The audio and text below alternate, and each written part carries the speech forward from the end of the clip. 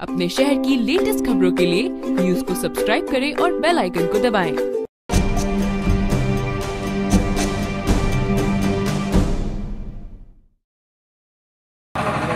دوسرا چرن جو سات تاریخ کے دن جس کی بولے گئے اس نے مجلس میں اپنا امیدوار یہاں سے ٹھہرایا، جیسا مختلف پارٹیوں نے اپنے اپنے امیدواروں کو یہاں سے ٹھہرایا۔ آپ کے یہاں سے بی جے پی اور کانگریس یہ دونوں نے اپنے امیدواروں کو ٹھہرا ہے۔ یہی کانگریس ستر سال سے اپنے امیدواروں کو ٹھہرا دی گئی۔ ہمارے بیچ آئے۔ چناؤ کے پہلے ہم سے وعدے کیے کہ ہم کو سیکولرزم کے نام پہ ووٹ دو۔ ہم اقتدار میں آئیں گے۔ ہم مسلمانوں کے لیے یہ کرتے ہم وکاس کر دیں گے۔ ہم ڈیولپمنٹ کرتے لیکن آج بھی ستر برس کی آزادی کے بعد بھی اگر آپ دیکھ لو، پورے دیش کی حالت، تو یہ ہے کہ دیش کا جو مسلمان ہے، وہ سب سے پچھڑا ہوا ورگ چاہے آپ ایجوکیشن میں دیکھ چاہے آپ امپلائمنٹ میں دیکھ یا پولیٹیکل امپاور میں دیکھ پولیٹیکلی آج مسلمان کے کتنے نمائندے ہیں راجیہ لوک سبھا میں آپ نے دیکھا کتنے پانچ سو اٹھاسی ایم پی میں آج کی تاریخ میں ستر ٹوینٹی سیون ستاویس مسلم ایم پی۔ کیوں ایسا ہم نے تو ووٹ دیا نا، کیونکہ ہم کو ادھیکار نہیں تھا کہ ہمارے بھی نمائندے چون کر جائے پارلیمنٹ میں، احوال اسمبلی میں، کارپوریشن میں۔ کیونکہ ہمارا جب چن کے جاتا ہے انسان، ہماری بات ہمارے مسئلے مسائل پیش کرتا ہے۔ لیکن اگر آپ ہم کو موقع ہی نہیں دو گے، ہمارے ووٹ لو گے، دوسروں کو پارلیمنٹ میں بھیجو گے ہمارے اسمبلی میں بھیجو گے، کارپوریشن میں بھیجو گے، تو ہماری طرف سے بات کون رکھے گا؟ ہماری جب بات نہیں رکھی جاتی، جس کا نتیجہ یہ ہوتا ہے مانا جاتا ہے پورے دیش میں۔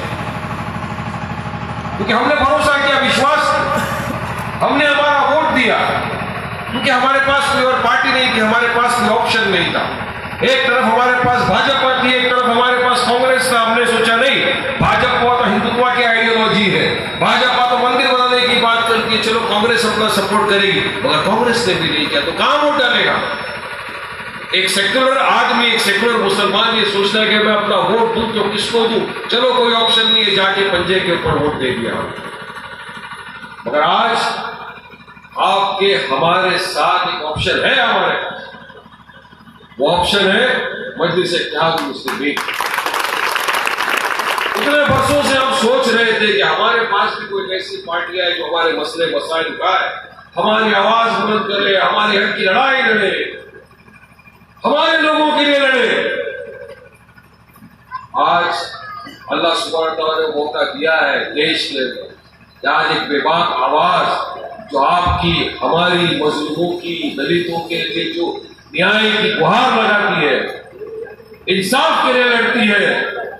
بے انصافی کے خلاف آواز اٹھاتی ہے۔ تو کوئی اور آواز نہیں ہے ہمارے آپ کا قائد کی آواز ہے، جس کا نام ہے اس کا